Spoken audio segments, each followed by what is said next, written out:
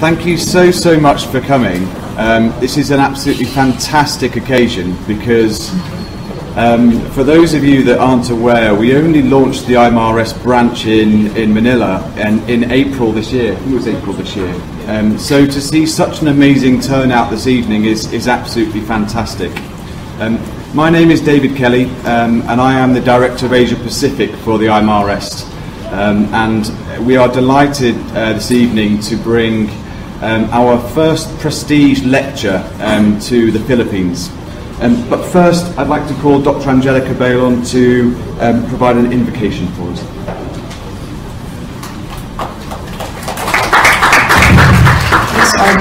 Let us bow our head as we invoke and feel the loving presence of the Lord.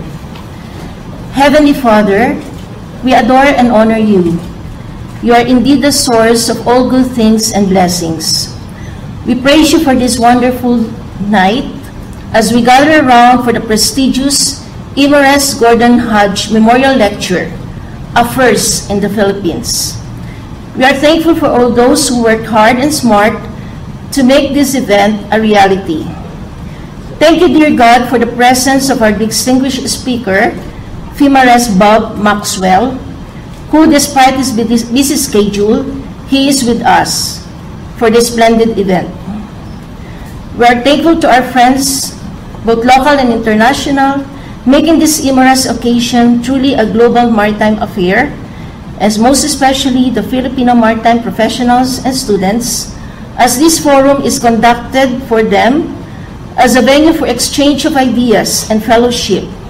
May they continue to be inspired and be encouraged to be an active member of IMarEST with a branch in the Philippines being led by a Filipino in the person of Admiral Eduardo Mar Santos, your admirable son, who you bless to be an admiral, an educator, researcher, advocate, and leader, all rolled into one. With the conference theme, Ships of the Future, we ask that this be a day of reflection and refreshment as we listen to our eminent lecturer, Chief Engineer Bob Maxwell. With your guidance, wisdom, and support, help us accomplish our work and our goals for today. Help us engage in meaningful discussions. Allow us to grow closer as a group and nurture the bonds of maritime community. Fill us with your grace. Lord God, as we make decisions that might affect our personal and professional lives for the enhancement of the maritime industry of which we are a part, be with us, because without you we are nothing. Continue to remind us that all that we do here today, all that we accomplish, is for the pursuit of what is good, for the maritime profession, and for the greater honor and glory. This we invoke in Jesus' name. Amen. I'd now like to call um, Vice Admiral Santos um, to uh, just talk a little bit about the Gordon Hodge Memorial Lecture um, and then to introduce our, our speaker. Sir David Kelly, the uh, Director for Asia Pacific of IMarEST, our uh, guest speaker, the officers of uh, Philippine branch of uh, IMarEST with us uh, this evening. I greet the uh, marine professionals, and especially those who are aspiring to be professionals. I'm truly elated to see that the uh, young people outnumber the senior ones, because you are going to be the hope of, uh, of uh, marine engineering and naval architecture. I understand we have uh, students from uh, NAME, um, Ames, and University of Perpetual Help System. Any other schools? Of course, MAP. But uh, we're very happy to uh, and elated to uh, to see you and see your interest uh, in this uh, lecture. Um, so I welcome all, all of you to uh, the convention hall of AMOSUP. It's the Associated Marine Officers and Seamen's Union of the Philippines. It's the largest uh, seafarers union uh, not only in the region but uh, in the world as well. And we intend to stay that way with our young people here providing the providing the the impetus and providing the continuity uh, for those who uh, will uh, pass on towards uh, retirement. Um, we're having the first uh, uh, Gordon Hodge Memorial Lecture. He's a distinguished engineer. He's done his stint on board ship. He's also taught in, in schools from the UK up to Singapore. And uh, he worked in IMO and was a consultant in many of its, uh, of its uh, committees and headed some of the committees of uh, the IMO even when it was still IMCO, the International Maritime Consultative um, Organization. And he had a total of over 50 years of involvement in IMarEST. So I think uh, that's a very difficult uh, record to beat. And uh, the series of lectures, which is conducted worldwide, and the first one here in the Philippines, is uh, dedicated in his honor. Tonight, we're indeed very uh, fortunate uh, to have with us uh, someone who has been uh, in the shipping industry for the last 35 years. Aside from working aboard ship and reaching the rank of the position of chief engineer on board, he successfully tra- transitioned to uh, ship management. So, uh, and uh, he's uh, handling uh, 91 uh, vessels at this time. So, again, being an engineer does not limit you to just going, being an engineer or chief engineer aboard ship. You can go ashore. There are many opportunities to become technical superintendents, to be instructors, to be teachers, professors, um, and still uh, make a good uh, make good work out of it. Um, he has uh, a wide experience in oil and chemical and gas tankers, bulk and container sectors, as well as development and implementation of ship management IT systems. So if you look uh, at the broad spectrum of uh, expertise that our uh, guest speaker tonight uh, has, uh, I'm sure, and I'm certain that all of you will be not only be interested, but you'll also be inspired, and hopefully uh, this activity tonight will be very beneficial to you.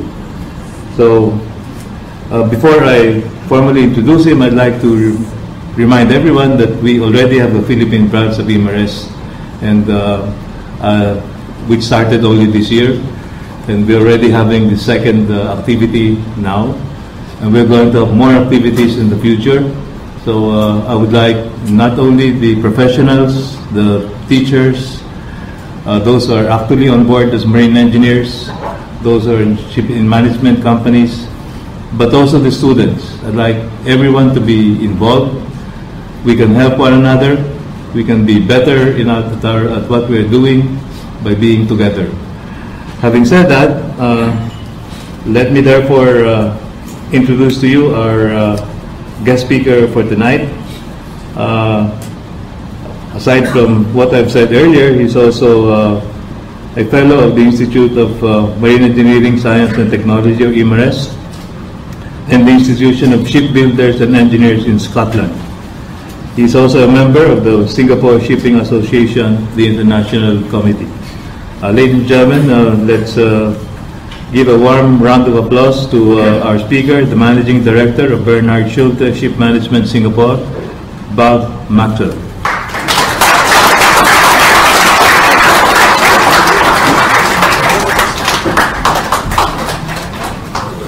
Good evening, ladies and gentlemen, and uh, Admiral, thank you very much for that very, uh, very flattering introduction. Uh, it's a pleasure to be here. I've been to uh, Manila a few times over the years. I started coming here when I was uh, when I was sailing on ships, and uh, now it's uh, it's a pleasure to be coming back and to, to visit our office here. Uh,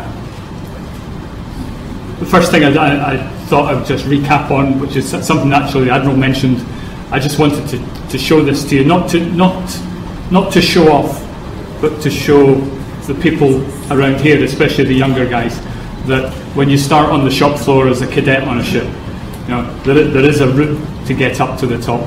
It's quite possible And if I can do it, I can assure you that uh, there's plenty of people sitting out uh, in the audience tonight who've got a chance to do that as well. The, the subject I was asked to, uh, to speak about originally was uh, how ships of the future are going to be operated and maintained. And that, that's actually something that I'd spoken about before. It uh, started two or three years ago, uh, the, the initial uh, time that I put something together on that subject. And then when I was talking to the guys in the office, I suddenly realised that times had changed already. These ships are out there already. The changes in the, uh, in the engineering that we all have to deal with, they're already well, well advanced. I mean, I, have been ashore for something like 15 years now, and the, the change since I was last on a ship is, is night and day. So, those of you that are at sea, those of you that are teaching people that are going to sea, and those of you that are going to go to sea, you're looking at a completely different outlook to what we looked at a few years ago. And uh, as an industry, we've really got to look closely at making sure that the people that are out there are the right people for the job. Because at the end of the day, the ships are there to make money. If the ships trade economically and safely, then there's jobs for all of us. That's what we need to think about. And it's not how we want the, the ships to run or what type of people we want to put on board. It's what's best to achieve that aim, economically and safely. It's a big, big thing. And if we, if we, if we bear that in mind, then we don't need to worry too much about huge policy statements that we all have. Our company's got them. Don't get me wrong, we've got them. But if we keep that, that bit in mind, then all the engineering tasks that we have to do on board the ship, we can put them into perspective. The big question is, where are we going to get these engineers? Now, if we just take numbers, then the Philippines is, is a major source. We've got, for my company, it's the biggest source by far. Uh, but we've got quite a few other countries as well. But it, there's a little bit more to it than, than just where are we going to get them. I'm not talking about countries here. It's how do we get these guys from leaving school up to the level that they can actually do what we want them to do. And if you train them the way I was trained, it's not going to happen. Because those ships are all razor blades. They've gone. And that was it. That was my first ship. It was built in the early 70s. 200,000 tons of ocean-going splendour with a crew of about 30 with seven engineers on board. I think we had, I think we had three or four cadets as well. Yeah? Uh, she was very automatic actually for her, for her age, but it was mainly pneumatic. All the, she was steamship, all of the steam plant was pneumatic. And when we were at college, we learned wonderful tricks to play with these pneumatic controllers, with bellows here, bellows there. Yeah? They've gone as well. Yeah? They're, they're the, the, the, P plus D bellows are uh, replaced by silicon chips. So, and it's important that everybody in the industry understands that those changes have happened. And the older we get, the more difficult it is to keep remembering that. Because there's still too many people have the opinion, oh well, in my day we used to do it like that. Yeah? Well, we used to do it like that, and sometimes we were quite good at it, but other times we actually weren't all that good at it, to be perfectly honest. Yeah? The, the, the, there's a phrase that a colleague of mine uses quite regularly when he says, was it, the, older, the older we get, the better we were. So we don't have the British pride to deal with anymore. We've got a different type of ship. This is one of the newer ships down the bottom right that we have in management. It's 9,400 containers on board. She's got a Wärtsilä nine cylinder engine, electronic injection control, uh, all the bells and whistles. She hasn't got a NOx scrubber on board, despite what I've put up on there. But I put those parts up to illustrate what some people are facing already and all of us are going to be facing in the next few years. And the guys at the bottom end, starting off, they'll see it for the first time. But when we compare it to the older ships and how much extra equipment is on board, it's quite frightening. Yeah? The ballast treatment system. The ballast treatment system on that, that ship is huge. It takes up probably the entire area that you're seated in at the moment, at the front of the engine room. So it's a completely, you know, a, com- a complete extra piece of equipment. The, uh, the SOx scrubber is a massive piece of kit stuck up in the funnel.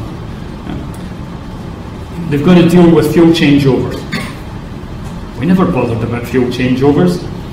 We just changed the change over to diesel as we went into port, but it was no big deal, and nobody measured how much sulphur we uh, we had on board. In fact, in those days, we didn't even test the fuel. We hadn't got a clue how much sulphur we had on board. Now, the shipboard engineers can go into a port. The most recent one that I've, I've heard of is in Hamburg, and the water police are almost like forensic detectives, making sure that you got that fuel down below 0.1% sulphur. That was a that was a thing that we never had to bother about. And it's coming slowly, slowly, slowly, and each one of these things has cumulatively added on to what the guys at the sharp end have got to do. That's an old engine room.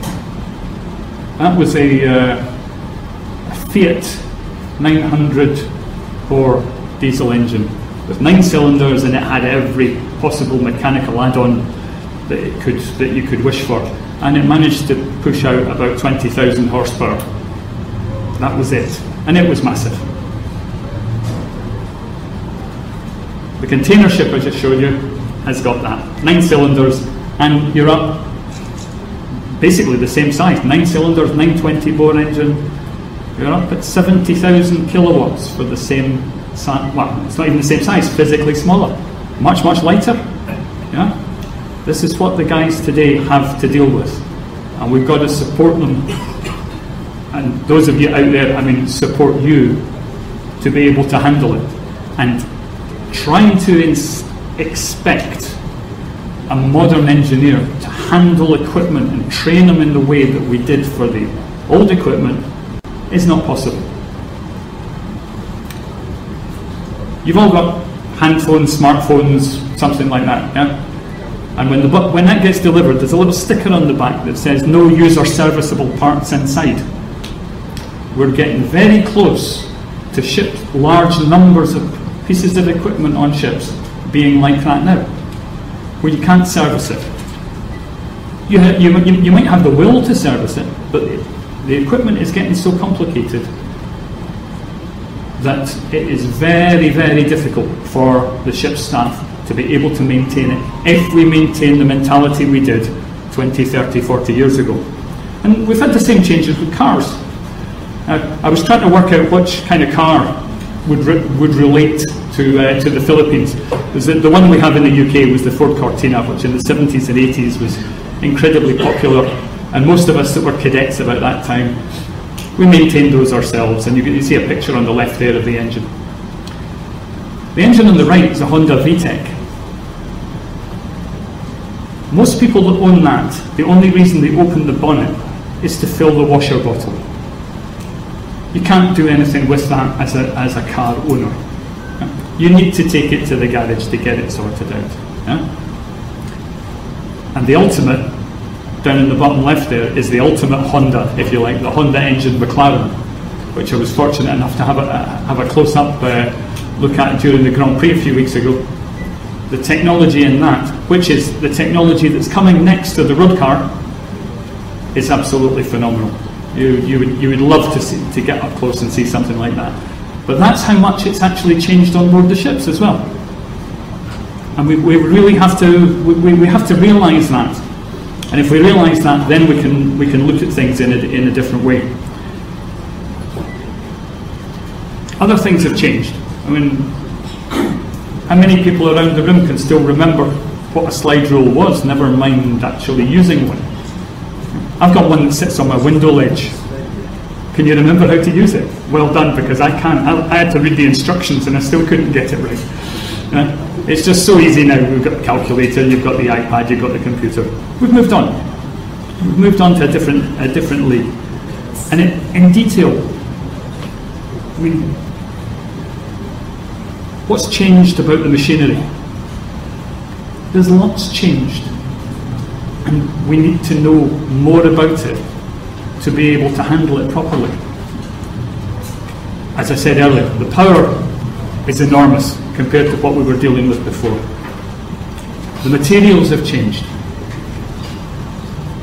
Efficiency has gone up dramatically, but the tolerances, the room for error has gone down and down and down because of these wonderful computers. So instead of the designer of the ship or the engine saying, ah, we need to make it 25 mil thick, so let, let's give it another 10, just in case. We don't have that anymore. It will be 19.5 exactly, because that's what the computer says. So we don't have the room for error, where if we get something slightly wrong, the machine can still take it. The machine can't take it anymore. We've got less crew on board. Obviously, that increases that increases the workload. Now, machines are better, so yes, we should be able to run with, with fewer crew, but it does bring other problems. Machines are better, so we don't need to maintain them so often. But that brings other problems. We've got engines now, running 30,000 hours between major overhauls. That's effectively five years, dry dock to dry dock, without pulling a piston out of a two-stroke engine. So where do the guys get the experience to say, oh, you know, we used to pull pistons, yeah, eight to ten hours, we'd have the piston out, overhauled back in again. Yeah. Maybe didn't do that great a job to be perfectly honest, but we did it. But we were doing it every couple of weeks, every month or so, so we got the experience to do it. When the ship stopped at sea about two weeks ago, they had to change a piston at sea. It took them 36 hours. Because the guys were working hard, I'm not criticising them whatsoever. But we had to stand up for them because they'd never done it before. Yeah. So they, it took them a while, it took them a while to find the parts and, the, and, and some of the tools. So, all of these changes have made serious, serious differences to how we have to behave and how we have to train the engineers. So, as I say, the world has changed, but have we? Have we really changed the way that we educate the guys and girls, my apologies sir, who are going to be on the ships? Not really. We're constrained a bit. Now, we have ideas to change things, but unfortunately, or fortunately, depending on your point of view, we have the STCW rules, which lay down basics of things that were decided 20, 30, 40, sometimes longer ago that were, it's a good idea for the you know for engineers to know about that. Uh, I'm not quite sure if I could be corrected here, but I really hope we're still not sketching safety valves. The way you look, I think you possibly could be. Uh, we haven't changed enough. I don't think we've changed enough. And I see it on a day-to-day basis with the feedback from, from the ships and what the superintendents tell me and then what the chief engineers tell me when they come through the office. What I think we need now and going forward is a different type of seagoing engineering. Now, the people that are out there are quite capable of doing it. They're clever enough to do it. But we've given them, as they've grown up in the system and as they're still coming into the system, we're still teaching them to be a jack of all trades. Yeah? Be able to, you know, you, you, can you can maintain a bit, you can run a bit, you can do a bit of paperwork. Yeah, you've got to do it all. Yeah, and if you do it all, you, as I say, certainly on the maintenance side, it becomes very very difficult to do it right. it's also more difficult, really, to operate the, the equipment properly. One of the reasons that it's difficult to operate it is when you go on board a ship, there's no instruction manual. There's instruction manuals for individual machines. Very few ships have a proper description of how all the machinery works together and how, they, how it interacts. I've seen it occasionally, one or two big owner operators used to produce them, but uh, in general, very few and far between.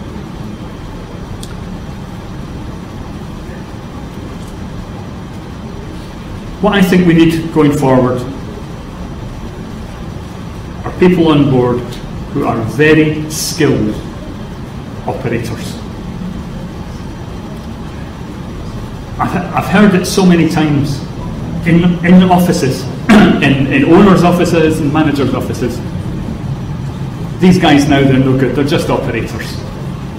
And it's wrong, because I don't think they're trained well enough to be operators. We've let them down. We're still, we're still expecting too much in one direction and not uh, in a direction that we hardly, we hardly use, and, uh, and not giving them the tools to use in the direction that we really need. We need more education, not one off training courses here, to help the engineers on board and in the office, because they're not scot free on this, I can assure you, operate the machines properly, like they were designed. Understand what the limits really are and really mean, and how the machinery works together. That's an important thing. A, a classic example would be a wonderful system with a waste heat boiler on top of a two stroke diesel, but nobody understands what pressure the boiler is supposed to run at. And we end up throwing fuel into the boiler because somebody thinks it should be running at 9 bar when it was never designed to run at 9 bar with the main engine running. Yeah. Those things get lost. Yeah. Helping people to understand that type of thing is going to make us huge, huge, it's going to be a huge improvement to how things work.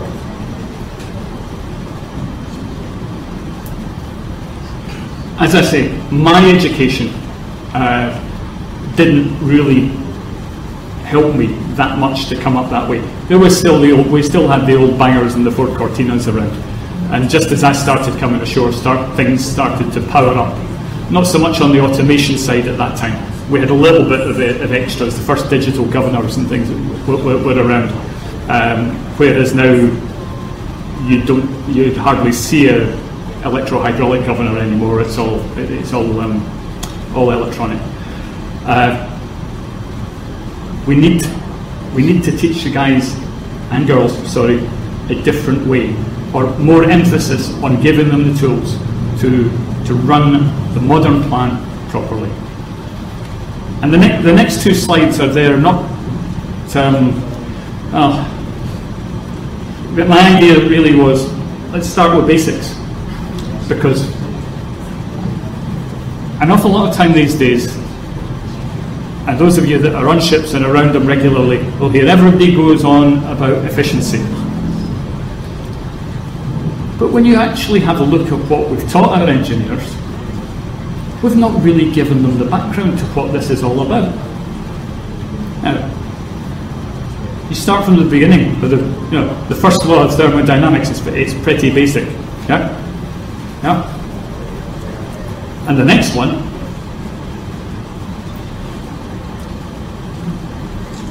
efficiency can never be 100%. And that is really not new.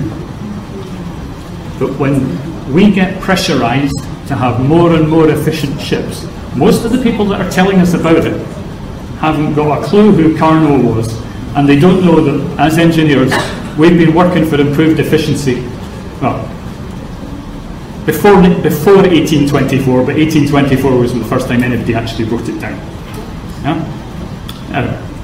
I'm not suggesting that we turn seagoing engineers back into uh, you know absolute theorists because we no matter what, when you're on a ship and there's only four of you, you haven't got time for that. But getting hold of some of those basics and emphasising that they're a bit more important than just we're doing the background before we get on the juicy bit, get the boiler suit on and get the spanners out, is going to help us.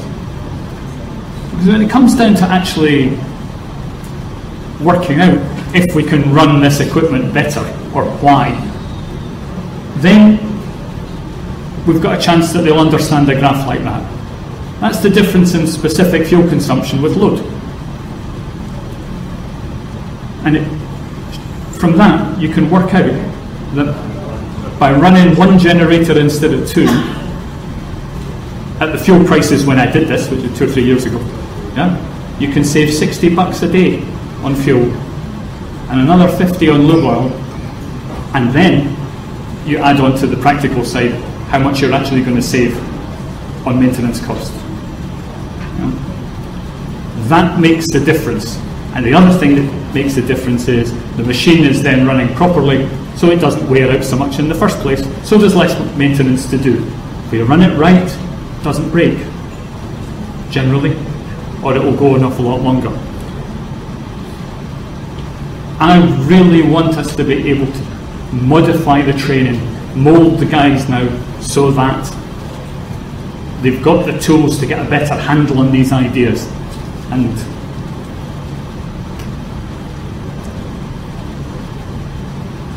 understand what we need for the future, for now. The days of the professional third engineer who was really good with the generator but never did any paperwork, never wrote anything down, are gone. Not we would like them to be gone, they are gone. Yeah? If we do a job now, we've got to record what we did. We don't need to be writing a great big long letter about it. Make sure you've got the form, make sure the form is filled in right.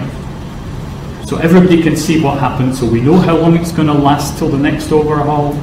So we know what to buy for next time, we know what to, to uh, we, we know what to order in time. And you won't have to overhaul it again too early if you record it properly. These are the, the, these are the things that really, really matter today. Then less maintenance is less work. It's also less expense, so the ship owner's happier, he'll buy another ship, so there's more jobs for the boys. And girls, sorry. Yeah? So that, that's the sort of mentality I'm trying to get across these, these days. But it, to get that in place, it's got to be, uh, it's got to come from both sides, or from many sides. There, there's no point in colleges changing the way they're teaching people. If the senior officers that are already at sea don't understand what we're trying to do, if the superintendents in the management offices don't understand what we're trying to do, and if the ship owners don't understand what we're trying to do, because you'll always get somebody saying, oh, in our day, or we used to do it like that, and that was fine. Well, we can stay doing it like that if you want, but it's not going to happen. No, it's, it's not going to work. So it, it, requires, it requires a commitment across the board. Another example of information that I find regularly ship staff haven't been given enough information to be able to understand and work on is the, the propulsion, the engine itself. I think most people sort of somewhere remember that there's a propeller curve that's a cubic that goes up quite rapidly. But with modern engines and the uh, EEDI rules that have come into place, the engines are so closely matched to the ships now that you can overload these things easily.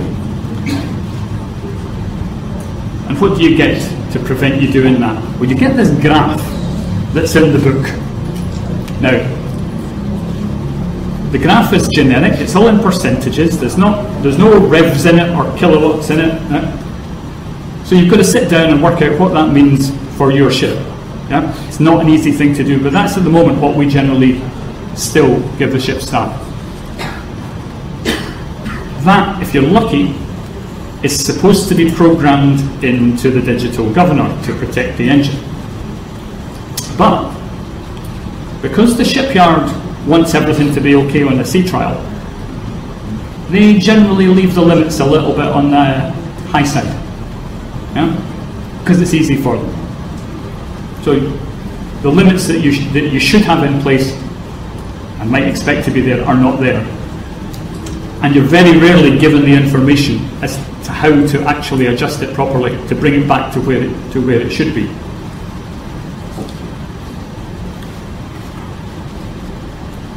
That's a simplified version for a very, very old ship now. But the idea of that was you've got the red line. You, know, you don't cross the red line. If we give people something like that as opposed to the previous page, we give them a chance to understand what's happening. It's not necessarily perfect because you can't perfect it in, a, in that shape or graph. But that involves somebody taking the figures from the ship and producing them. You know, it's got to be done basically ship by ship to have something like that to work with. And then they can possibly understand how that fits into the control system and the protection system that, that's there. Of course, now we've just talked about putting the protection system in place, and uh, the whole world insists that you change fuel regularly. So all the settings that you had that protected your engine quite nicely, when you change over onto gas oil to go into the US or into the Baltic, then immediately stop you accelerating when you're uh, in shallow water or in bad weather. So you've got to understand that bit as well. Something else that we have to work on to educate the people out there how to do it better.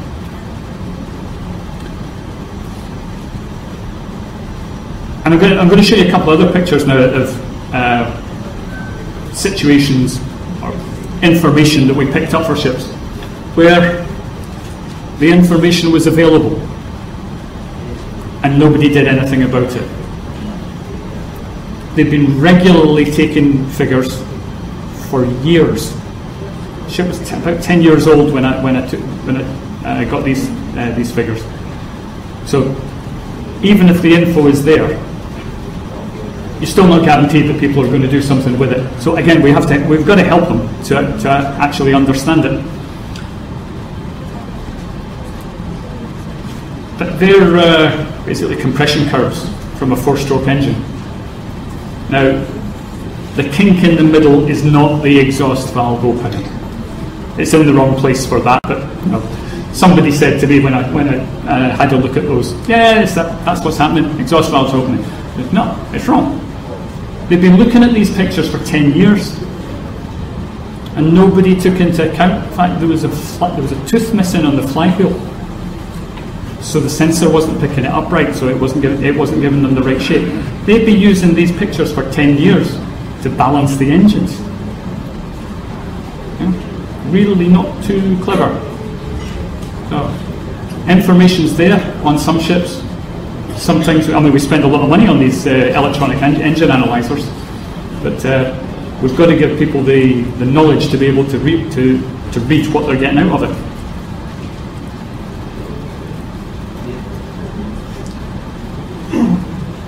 The second one is um, a little bit more um, abstract, slightly, in that uh, uh, on the same ship they were uh, they were wrecking exhaust valves and cylinder heads on a regular basis, and then we found out that the temperature was uh, fluctuating dramatically all day, every day. Uh, and th- th- that's, that is one, that's one day's run. That was happening every day of the year, pretty much. Again, info that was there that the guys were unable to do anything with. Just quick examples. There are many more out there. But I'm not saying the crew were doing badly there. I'm saying what we what we hadn't done was give them the tools, give them the background and the education to uh, to pick up on those things. Because learning to be a fourth engineer grinding compressor valves. Now I know it's not as difficult now as it used to be with uh, improved lube oils, but still a lot of time spent doing that. Uh, still, people will spend a lot of time lapping fuel valves and expecting them to crack. Right? Total waste of time. You know, absolutely. Just does more damage than good. But we're still doing it. There are people still trying to grind exhaust valves on vibrating ships. We can't do that anymore. The tolerances are too tight.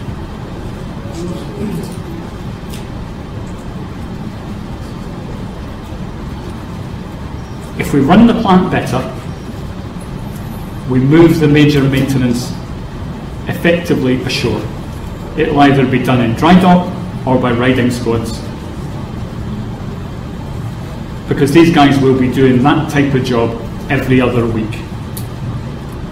Not asking a chief and a second engineer to do it and they've never seen it done. The best will in the world. How can we expect them to, to, to overhaul a machine where they've never seen it opened up before because it runs for nearly five years? The risk we've got to watch here is though, and I've seen it happen quite regularly, is when we put work squads on ships or jobs are getting done in a dry dock, the ship staff step back from it, say, oh, it's not my problem, somebody else is coming in to do it. That we can't do either. We can't walk away from the job. The guys on board have got to be in it with, with the shoreside guys. So because they've got to take they've got to take possession of it when it comes back into service. So although we'll do the you know we'll, we'll, you you, see, you will see more and more maintenance done ashore. The ship staff have still got to be very much involved in it. And they've got to be able to clearly ask what they need to be done. If it's routine maintenance, it should be fairly obvious. But if it's a breakdown, then they need to be clearer. I need this, I need that, I need that, I need those spares, we will need that. So the, the two teams have got to work together. We've got to communicate well, and we've got to communicate better than we do now. It's one of the failings we, ha- we have. We're still a little bit, as engineers, uh, abrupt in our communication at times. Huh? I can be just as bad at it, I know, and it's very easy to drift into that. You suddenly, you, you sort of expect the guy at the other end to know what you're talking about. Yeah. So, we've got to be better at asking for help from the ships. And the people ashore that we're sending have got to listen. There's nothing worse, from our point of view, than sending somebody on board and who sends a report back to say, yes, it's broken. Yes, well, we know it's broken because the chief's already told us it was broken. We wanted you to fix it. So, our um, the pressure on the shoreside service engineers has got to be there as well. They've got to realise it's part of a team. Some companies have got their own teams now. We've started doing that. We've got some guys based in Germany, but it's not as common as it could be. It's not as common as it is going to be. There is no doubt about it that there will be there will be teams coming out. The last part is a little bit about how do we do the training. And we've got to ask ourselves, you know, are we convinced that we need to do it in a different way? I think we do because I need, I really feel I need to see a different type of engineer coming through for the next next generation of ships, so that they can so they can survive on them. Yeah? And there's too many people out there, and there's a lot of them, complain about ship's crew, and I hate it. That's the point where I still remember what where I started. When you look at the complaints, it's nearly always because we didn't give the guys the tools to do the job. And I don't mean the hammers and spanners. I mean the information they need, and the time they need, and the encouragement they need. Yeah? In the UK, the cadet training system is based on the 1947 Merchant Navy Training Board. Yeah? It hasn't really changed since then. They accelerated it a little bit and you got to do it in a shorter period. It hasn't really changed. And to be honest, the rest of the world hasn't really moved that much. in the same period. It's changed a bit, and don't get me wrong, I, I understand, you know, the, the Doxford engines have gone and the, you know, we don't see much steam plant anymore and things like that, they, so they've been kind of dropped back. But we're, we're, we're still, you know, we're still in, a bit of a backwater. We, and the, ne- the next ideas I've got vary a lot, or the applicability varies depending on which country you're in. And I do understand that what we write down that might work for Europe might not work here, might not work in India. You know, so that we, you know you have to have to take this this bit with a little bit of a pinch of salt. But no other industry takes 17 and 18 year olds and sets them off on a career path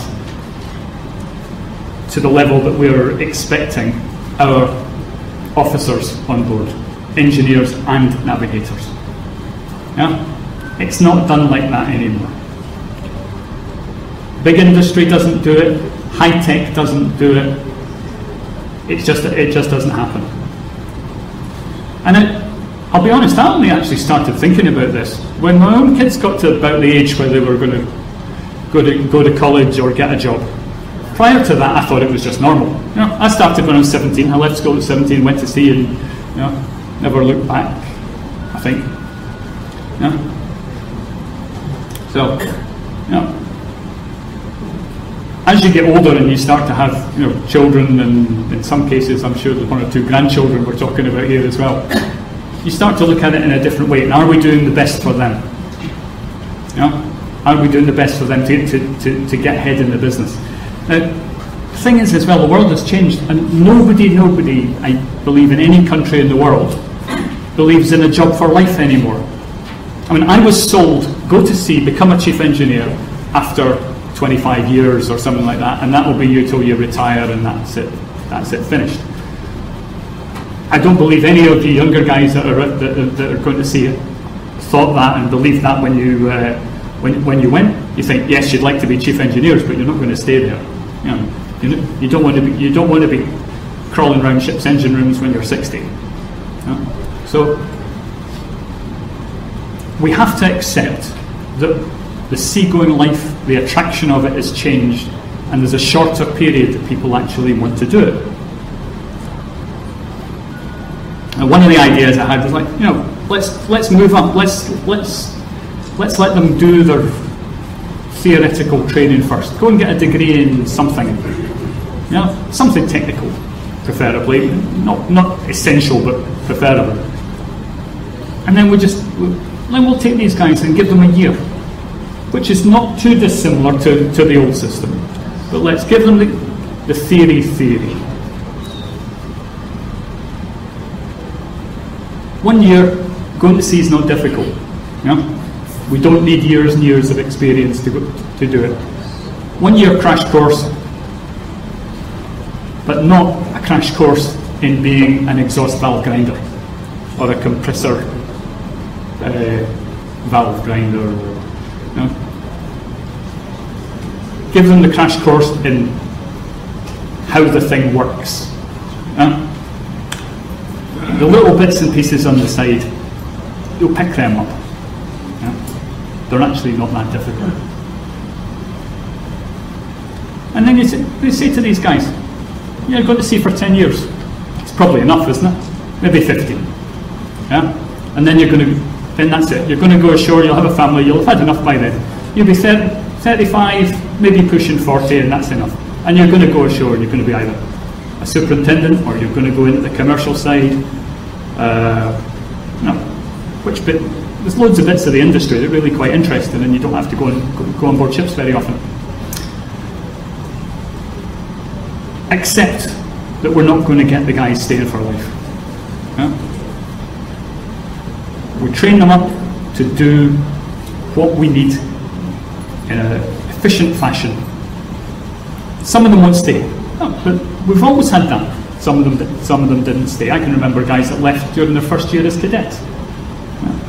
Other guys finished their cadet time and they, they, they disappeared. And, you know, uh, of, the, of the people I was at, uh, at college with, I think it was, uh, there was two, two or three policemen.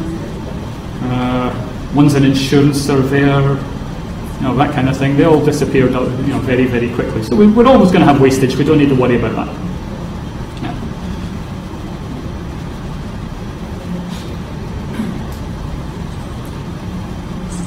We need to change our mentality. We need guys that are skilled operators, not particularly maintainers. To operate it, you've got to understand the machine and you've got to understand a reasonable amount of the theory behind, behind what makes it go bang. And that's where I think the education side has, has to change. But it's got to, it's got to change. There's, a, there's, a, there's one last bit to the attitude change. Is it's no good coming out as a, as a fourth engineer with the new mentality and thinking that's it. The way things have changed in the time I've been in the, in the business is not going to slow down. So we've got to keep on doing what you guys are actually here tonight as part of with continuous professional development. It's essential. If we don't, if we stop, we'll end up in a end up uh, in a, in up a blind alley. You know, it's like, oh, I, I stopped learning when I was 25 or 26. It doesn't work. We've got to keep going and working at the new at the new parts of the of the job, what the new technology is, what the new mentality is, and it's difficult because you've been at sea. You don't get a lot of time to read into this stuff when you're at sea, and then you come home and you want a break. Yeah? So then the pressure's on. You know, well, you, you're going to go along to an IMarEST lecture. Please do come. Are you going to do a training course? Are you going to do even do some reading or do a bit of background study yourself? It's difficult because the wives and the girlfriends haven't seen you for ages, and the you know, and the boyfriends. You know, they want. It is the, the, the pressure's on to uh, to get that time in and actually still have a nice work-life balance, as they say. And for the superintendents, I can assure you, it's as bad. They're working a seven-day week with a smartphone. They get home. At, they get home at night. You know, nine o'clock at night. Then the phone rings, and it's the captain from here or the chief engineer from there. And then they turn around to their wives and say, "I'm going to, I'm to do some night school, or I'm going to do some, uh, I'm going to go out to an IMarEST lecture." So it is difficult. We understand that. The guys at IMarEST are doing an awful lot of work to try and put more of this online, so you can get at it. I think we're actually recording this tonight, so uh, any of your friends that uh, have difficulty sleeping, they can watch this. So we're, we're trying with, on the, with the tools to try and make things easier to, to access the information. The IMarEST got a lot out there already. The uh, what's it called, Dave? The, the t- yeah, the TV, and then there's the, the it's not knowledge bank. There's another bit. Virtual library. Sorry, virtual library, which has got some really, really good stuff in there. So you know that's worth taking a look at. Um, we've got to, we've got to use those tools, and as managers and ship owners, we've got to understand that we've got to try and help make that time available for uh, all of our staff to uh, continue the development.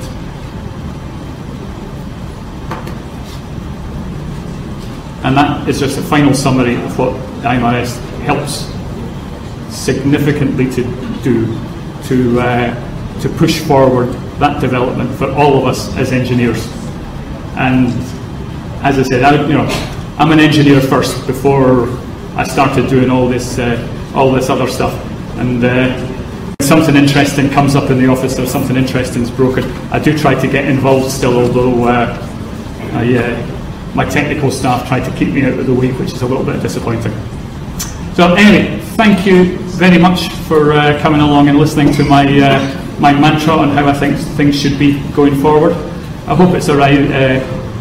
I hope it's brought some interest in, and um, if you've got any other questions, uh, either now or later on, and uh, feel free. I'll be more than happy to, to answer questions or to discuss something later on. Thank you.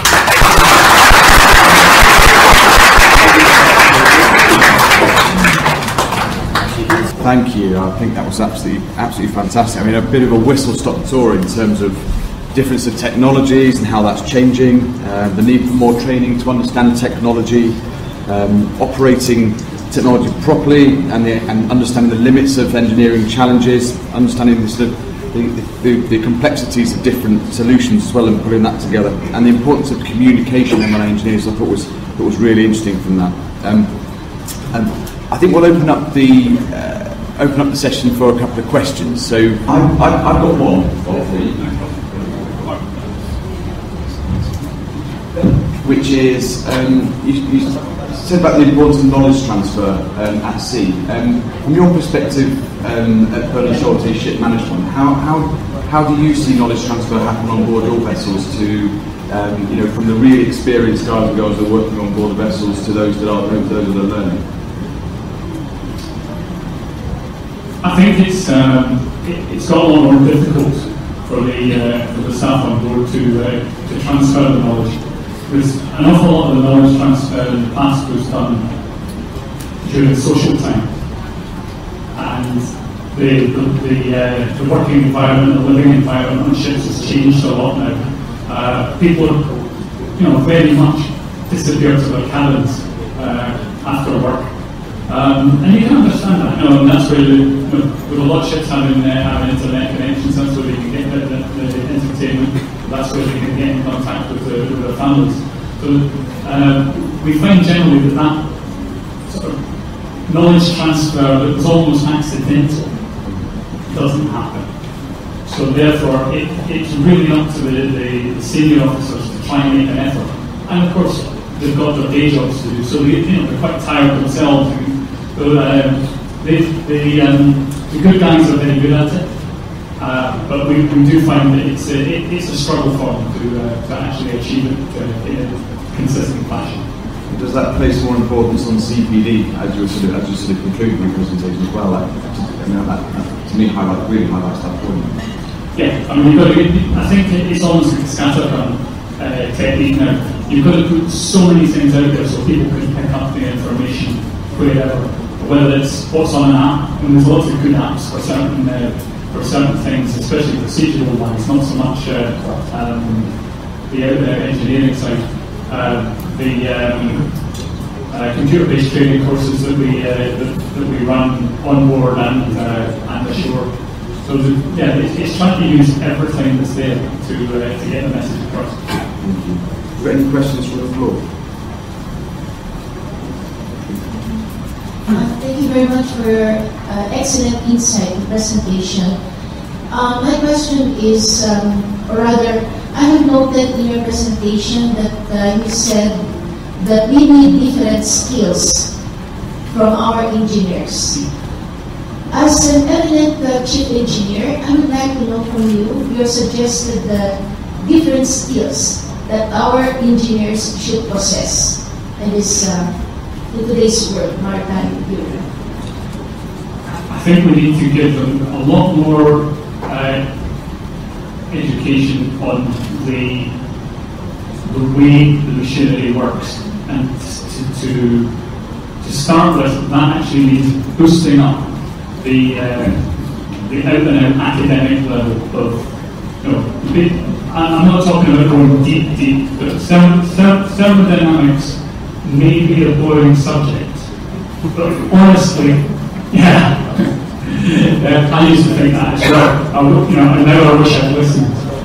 Yeah, but things like know, things like that that are parts of those subjects that will really help. And if you take the example of the propeller curve, good training to understand how that actually affects the engine ownership and how that how it behaves will make a huge, huge difference. Because then you don't overload it, then you don't break it, and you don't have to open it up. But it, I, can, I can honestly tell you, and this doesn't apply just, this is not one nationality, this is not one age group. The lack of knowledge in some of those aspects, especially the, uh, the, the whole propeller matching side of things, it's, it's quite frightening at times. So I, I, I really think, you know, as, as engineers, we've got to get the basics right, and that does mean we've got to do the difficult stuff first, before we do the fun stuff. Any more questions?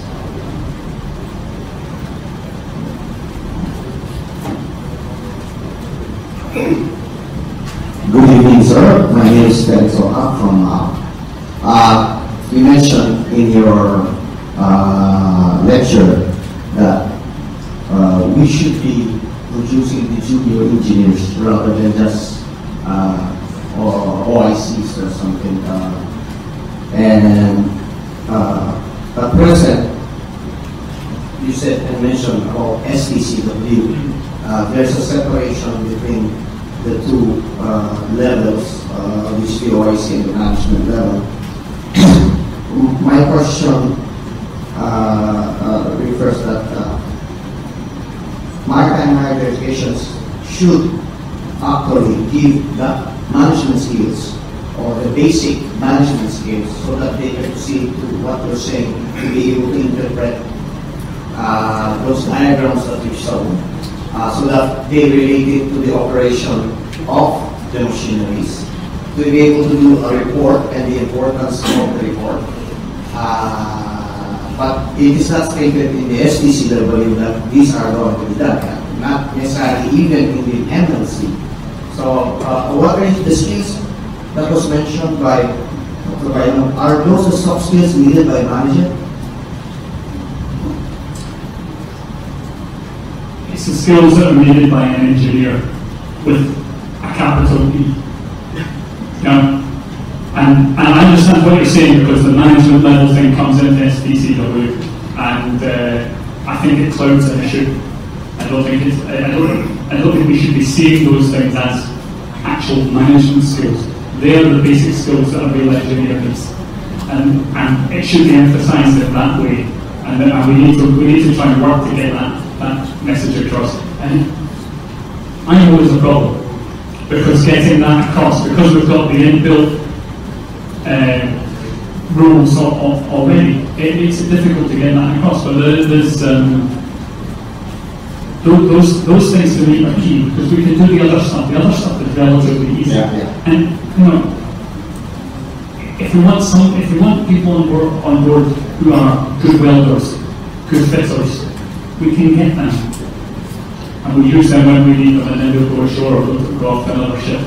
The people we need to really understand the operation, of the ship are the engineers and the navigating officers. Know, although, you know, I'm an engineer and I, I, I always come from that, uh, that, that angle myself. We actually have the same issues on the deck side as we do in the engine. You know, it's, it's slightly different, but uh, the, the emphasis on, on, on running things properly and understanding you know, how they run is, um, is key. Uh, it's, it's very, very important to get that right. Thank you very much. Uh, my second question, uh, you mentioned you don't, uh, don't want them to make, the mechanics heaters and uh, uh, this, this uh, normally because we can easily get them from our oilers or from the heaters or the machines that we actually have. You also mentioned in your uh, lecture that most companies are already bringing in the company program to actually overall maybe the, the main engine and so on, so that it does not fatigue the engine crew with regards to, uh, but there was a problem that sometimes shore-based crew does not listen to the chief engineer on board and so on. Do you see this kind of trend? Uh, because I feel personally, I'm not a ship manager, but you are, that it will be more cost effective doing it that way instead of the typical uh, uh, uh, 48 hours or more that the, engine crew would actually spend in overhauling the main engine in such a manner that uh, uh, it will be cheaper using a shore gang. You, did not give that much for that, that's why it's becoming a certain song. In the long run, it's cheaper. Now, to pay for the shore gang to go on board is, say, a fixed price. And that, that's a, that is an extra cost. But you have two advantages. One, the, the crew can do other things because in many cases they still have the ship to operate. So they've got, they, they, they don't have to do the hard labour on that, on that job. But also, because you're getting a job done by somebody who's doing that job every week, they do it faster and they do it better. And they know all the little things to look for that there is no way your average chief engineer and second engineer can ever know. No, even the, even the 60 year old who's been at it for years and is really, really good, there is no way, especially modern machines, that you can have that broad knowledge of the different types. So yeah, the, uh, it will be cheaper. It will be cheaper for the, uh, there will be less breakdowns after maintenance, the maintenance will last longer, and the, uh, the crew will, there'll be some pressure taken off. Not too much pressure taken off them, because I said we want them to understand what's happening so that they can still, on a dark and stormy night, do an emergency. So do you see some of the requirement in STCW uh, for marine engineering uh, to remove the function three, which is more of the maintenance and repair, uh, maybe, uh, how you call it, to reduce the requirements and competence in that area, because uh, you just need some kind of uh, uh, training or education in maintenance so that you, the, the smaller things that you can do, but the major Yeah. uh, maintenance and repair will be done by Sherwin. Sherwin. Yeah, I think, I, I think we've got, to, I think we've got to move that emphasis across. We can't take it away completely, but we've got to change the emphasis. Thank you very much, sir. Thank you. Probably got time for the final question if we, we just want to- Uh, Good evening, sir. I am T.V. Firme. Uh, Talking through experience, I've been taking it for more than 10 years. Uh, You have uh, this lecture on, as I can see, it is called a perfect machine. Well, uh, a perfect machine, of course, at times, during the open sea, the open sea at times, something goes wrong. It's just like a human being. If you have a perfect health, there's no problem, but at times you get sick. So if you're at the middle of the sea, and we are expecting a shore to do it, how do, how, how is then shipping a, uh, approach, uh, uh, do it to, to bring that ship in the uh, shore? Yeah. No, and I agree with you. We're to have to have a, a level of competence where a repair can be done. But the number of repairs should go down. Yeah, it is, it, the, the, the better the, the better the maintenance is done, the number of repairs should go down. But you're, you're absolutely right. There will be the, there will be the cases where it does go wrong. Yeah, that's- if it's a generator, it's okay. We've got another one. Yeah, okay. Yeah, if it's a main engine, something has, has to be done. But, With a, uh, with a, with a main engine, if you want to stop the injection on one unit because it's a problem, yeah, you do it on the keyboard. You don't go out onto the engine and, lift the fuel pump anymore. So things have changed in that respect as well. But, I mean, we've all done it, and I'm sure you, you know, heaving fuel pumps around and that's in the, you know, with the, with the ship rolling. Yes, we will always need to have a, a level of competence to be able to, to do these things.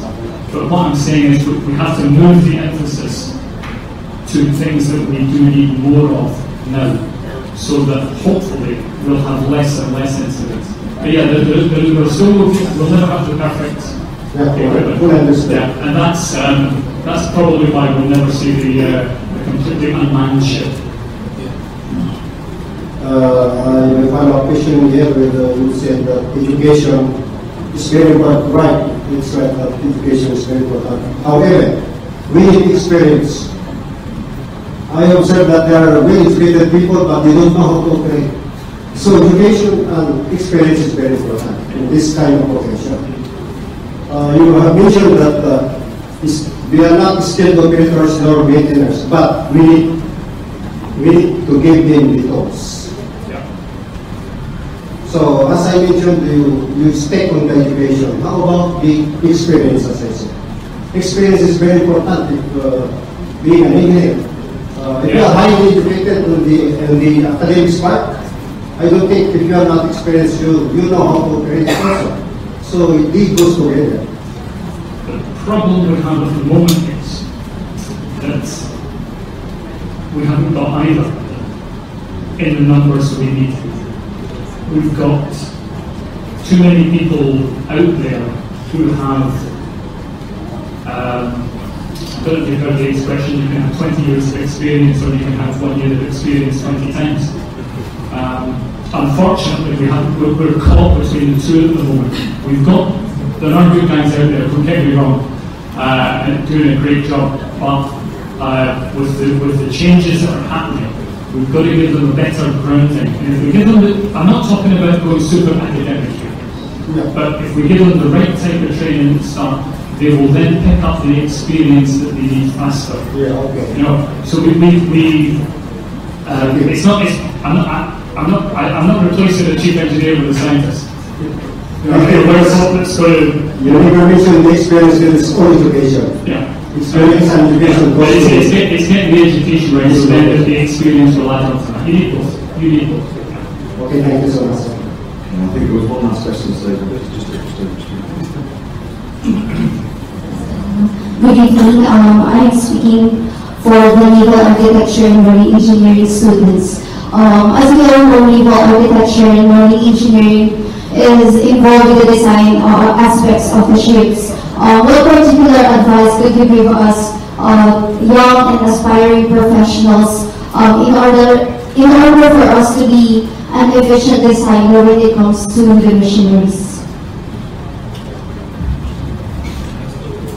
When it comes to designing, the biggest problem we find is that two designers don't talk to each other. We have some, we have, we have engine rooms full of wonderful equipment, but they don't actually match. So there's a, there's a holistic, and there's a holistic view of the, uh, of the ship's design that I don't think we're getting right. You see it if you see a ship that's built from one of the big owner operators, but there are very few ships in the world that are actually built by them. Although you know, you know we've all seen Big Blue and we know about them. But, uh, ships are built by shipyards tend, as the as the designs get older, actually get worse because there are changes made that they don't they don't think through. So actually, yeah, for, from a design point of view, try and look at it all as one and, and, and think about how the guys are going to have to operate it because they have to they have to operate all all the equipment at once. I think that's uh, that, that would be the biggest uh, the biggest thing that um, would help us all. But the, the, the other thing I would I would like to point out just when you mentioned naval architecture because uh, it's a it's a big thing on our side as well is that we see marine engineering and naval architecture really working together as time as, and as time goes on. Uh, as a company, we're now we now look at taking on naval architects and, and electrical engineers and mechanical engineers separately. So the um, our, our days as a, as a shore-based organisation of looking at uh, ex-chief engineers and ex-masters as the only people that are going to populate the office are uh, over. So we're, we're, we're very much looking at the, at the expertise from the whole industry and making the most of that to, uh, uh, to support us uh, in managing. Uh, my final question is, uh, does BSM offer um, internship programs for students? Yes. We, in uh, Singapore, we take on three, four interns every year. And we also have a training program for non-seagoing uh, technical staff to bring them into the system as well. So, um, what are the requirements that um, are we going? I don't have uh, website or You could have been in Singapore first, unfortunately. uh, no, that's, that's, that's a fact of life. Uh, the uh, last year, the um, we took on three last year, ran them all summer. One was a mechanical engineer, one was electrical, and one was a naval architect who was thinking about changing to marine engineering. Uh, we're looking at people on degree courses, uh, usually second or third year. And uh, yeah, we, um, So we'll, we'll continue to do that, and certainly in Singapore. I can't speak for the other offices because geographically it, it makes a difference as to you know, uh, how they operate. Thank you so much. Okay, thank you. Um, I'd like to call the president of our, of our branch now to uh, Admiral Santos to sum up with a couple of words and I think we've got something to speak as well. Thank you, David. Uh, I guess that was a uh, that was a very stimulating and interesting uh, uh, uh, lecture tonight. Um, what do you get out of this? I think if you you can summarize it in a one or two words. Everybody needs passion. If you have passion for your job, then you will do research, you really look at, you make records of what you're supposed to do, and uh, you really don't need to be, to take up uh, management subjects to learn how to, uh, uh, to get the uh, area under the curve. So, it really takes passion for you to, to, to, get moving, to be able to communicate, and I guess for the young, young, for the young aspiring professionals here, the thirst for learning and passion is something that's really needed because as years go on and as clearly and repeatedly stated by our, uh, by our uh, guest speaker, as years go on, they keep relaxing and forgetting, and in the end, everything becomes so routine that uh, just following the uh, what is stated in the box as uh, supposed to be the uh, which is supposed to be the the instruction for the maintenance. It's not even being followed. It's not even written there in the box. What are you supposed to do? You look at the at the maintenance manual, whether it is uh, aboard ship or whether it is in the schools or whether uh, it is uh, in the different shops. You look at the manual, they are not following it. And it's right there, clearly stated uh, what you're supposed to do. So, again, all you need to do is read, understand, think, and be passionate about what you're doing. And as our guest speaker said, he's an engineer with a letter, capital letter E. So that means that before anything else, he thinks he's an engineer and, uh, and he tries to, uh, to make do with what's, uh, what's happening. So I guess that's in it for everybody. And finally, let me say that that's what IMarEST is for, to provide continuing professional development. And you've, you've heard so many things about available uh, resources, available materials, uh, TV, uh, virtual library. It's all available for us. Uh, it's just a matter of being passionate enough to open up, uh, to log on to, uh, to the web page, look at what is there, be interested in it, and it's all there for everybody to, uh, to take advantage of. And so I think we're all very lucky that, uh, that we have had our first uh, uh, lecture on for IMarEST. We, I assure you that we will continue doing this. I hope that when we uh, send the invitations, we'll all be there.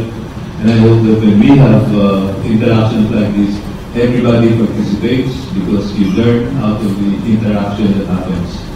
I assure you that uh, uh, there will be continuing uh, activities like this in the coming months and years. And uh, all we need is your presence, your interest, and your passion in doing the correct thing. Having said that, Let me, uh, let me thank uh, Bob for uh, such an outstanding uh, uh, talk. Uh, and I hope that he has motivated all of you. And uh, of course, after listening, that they also take internship. I hope that we interest the students uh, uh, and uh, motivate them to study harder so that uh, they can earn their internships.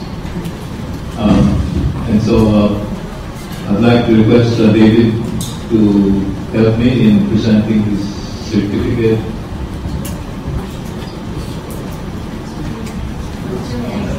Okay. Oh, we we read the certificate. Yes. At this time, Chair, um, we, we, may I respectfully request Andres Santos and uh, Mr. David Kelly to award the certificate of recognition to our eminent lecturer, and the certificate reads as the Institute of Marine Engineering Science and Technology awards this certificate of recognition to Robert Maxwell, Chief Engineer, CMAR E, FIMarEST, FIES, Managing Director, Bernhard Schulte, Ship Management, Singapore, in grateful recognition for his significant contribution as a speaker during the IMarEST Gordon Hodge Memorial Lecture, How Ships of the Future Will Be Operated and Maintained, and how will we train the engineers to do it? Organized by the IMarEST Asia Pacific in cooperation with the IMarEST Philippine Branch and sponsored by the Associated Marine Officers and Seamen's Union of the Philippines, awarded this 24th day of November at the AMOSUP Convention Hall. Signed, Vice Admiral Eduardo Mar Santos, President IMRS Philippine Branch, and David Kelly, Director IMRS Director of Asia Pacific.